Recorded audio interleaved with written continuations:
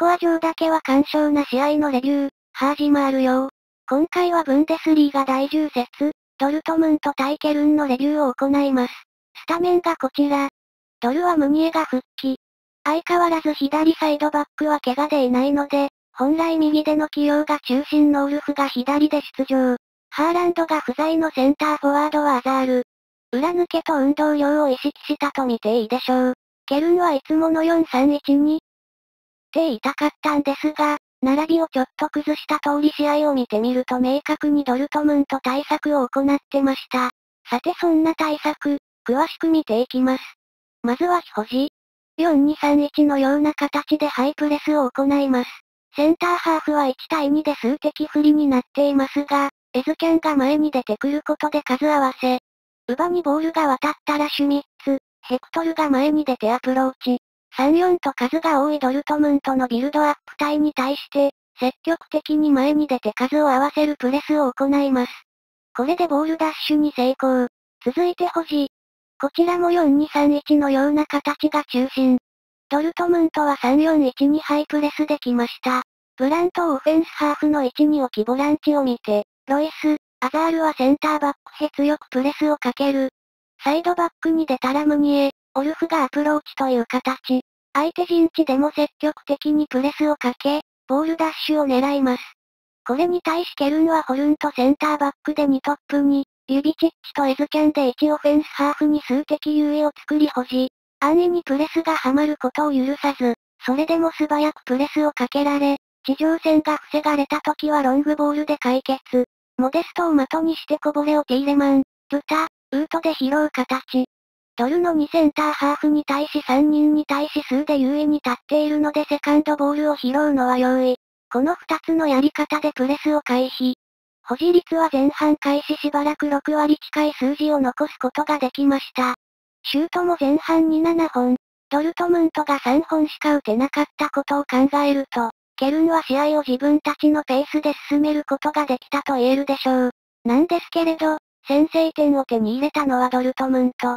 前に出てくるサイドバックの裏を、ベリンガムがつくことができたところから生まれたシーン。保持率が低いこともあり数自体は少なかったんですが、前線3枚を中心にサイドバックの裏を狙う動きは何度か見せていました。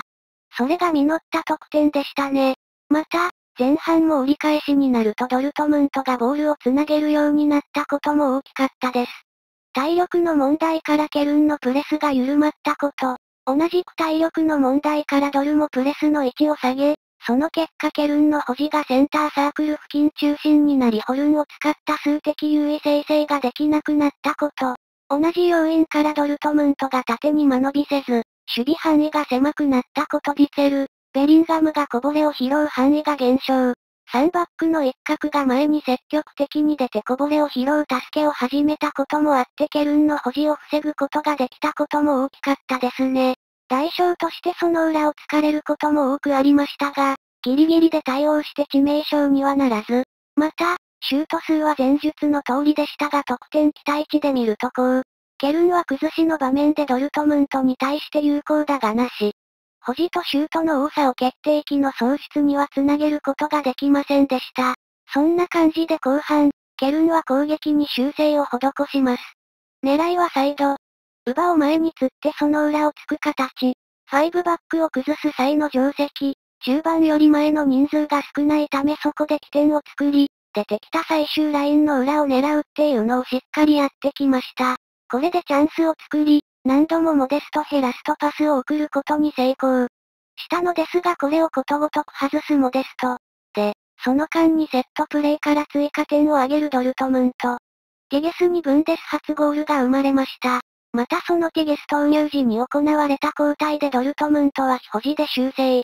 442にすることでサイドに2人配置。最終ラインの選手が前に出てくることを防いでケルンの攻め筋を封鎖。その後ケルンは4312への変更も行うも、4バック対4トップのような形で噛み合った形に苦労し効果的に保持ができたとは言えず、最終的にシュート数はドル8のケルン21でしたが、得点期待値では1.1対0.9。シュート1におけるゴールの確率がほぼ互角なら、この質で勝るドルトムントが勝つよねってことでドルトムントが2例で勝利を収めました。そんなケルンですが、ドルトムント相手に期待値を互角まで持っていっただけで十分な結果と言えます。昨シーズン16位で、最近は登る降格を繰り返しているチームですから、モデストのシュートが1本でも決まれば、試合の流れは変わったかもしれないですし、ストライカーにシュート7本打たせて1点も入らんかったんですから、今日はそういう日だったと諦めるのも大切でしょう。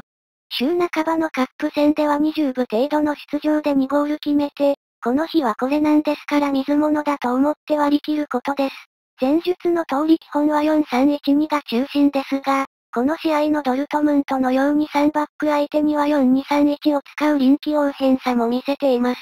勝ち星を大量に上げているわけではありませんが、しぶとく勝ち点を重ねていますし、それが続けられれば注意を維持できるでしょう。とはいえどっかの黒と黄色のチームの序盤戦みたく、中盤に人かけすぎてビルドアップ帯に過度な負担をかける嫌いがあるのでそこは改善しないと怖いです。ホニャとムントみたいにボールを持たされる機会は少ないでしょうし、中央の選手をサイドに流れさせる工夫等は見られました。ただそれはあくまで崩しの改善であってビルドアップ帯の助けになりきれていないことが多いので、そこのパターンを増やせば勝ち点が安定して奪えそうだなと思いました。さてドルトムント、絶好調だったとハイエナにエレベーターチームに大苦戦しているんですか？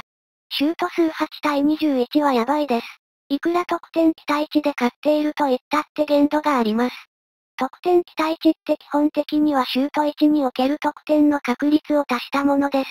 それがこの質に劣るケルンに迫られてるって、組織として機能していない、もしくは彼らに劣っているってことですからね。442の保持修正は良かったと思いますが、怪我人の関係上343の起用は続くと思うのでこれで落ち着いた戦いをしたいです。保持であれば地上戦は先制点のような形で狙いが見られましたが、それができない時は厳しかったです。この日は前線にフィジカル自慢がいなかったですし、大雑把なロングボールが機能しませんでしたね。先制点の時はそんな形でしたが、確率を考えるとこれで試合を動かせたのは奇跡でしょう。ならばそこで長所を発揮できるムニエに浮き玉を送ってもよかったのではないでしょうか。ケルンも多少中盤が薄くなっていたので、そこにこぼれを送ればボールを回収することもできたでしょう。また、保持で中盤が薄くなるったりするのは構造上昇がないんですが、それを多少ごまかすことができる3142ぐらいは仕込んでおいた方がいいかもです。それがないなら、むやみに前に出ていかないやり方も必要でしょう。